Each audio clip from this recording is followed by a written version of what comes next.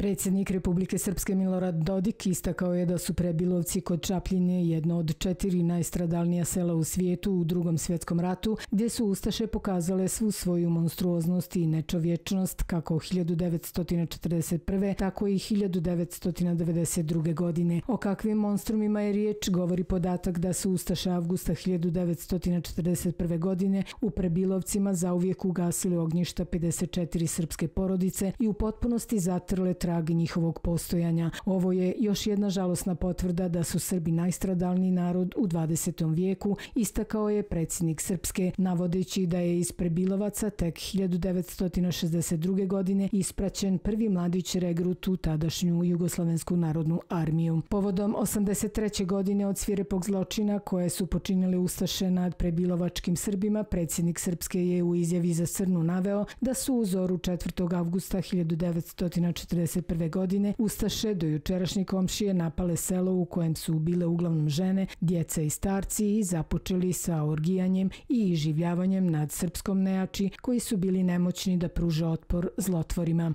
Ustaško orgijanje i življavanje nad nezaštićenim ženama i djevojkama, a posebno nedužnim djevojčicama, trajalo je nekoliko časova. Jedina osoba koja se spasila i živa izašla iz zgrade osnovne škole u kojoj su bili zatvoreni bila je Mara Bulat, koja je svedočila da su Ustaše vadile bebe iz kolijevki, razbijali njihove glave o zidove učionica i nabijali na bajonete pred očima njihovih majki, dok su učiteljicu Stanu Arnautović više puta silovali njeni bivši učenici Hrvati. Nakon svih ovih zlostavljanja i mučenja Ustaše su potom prebilovačke Srbe prebacile u silos kod sela Tasovčića, odakle su sutradan 5. avgusta transportovani do sela Šurmanci, gdje su ostali do jutra mučeni i maltretirani tretirani bez kapi vode i hrane, podsjetio je Dodik. On je naglasio da je i ovaj zločin u Prebilovcima bio zataškavan i prikrivan u bivšoj Jugoslaviji kao i mnogi drugi zločini nad Srbima, a 1961. godine jame u koje su bacani hercegovački Srbi su zabetonirane sa namjerom da se istina nikad ne sazna.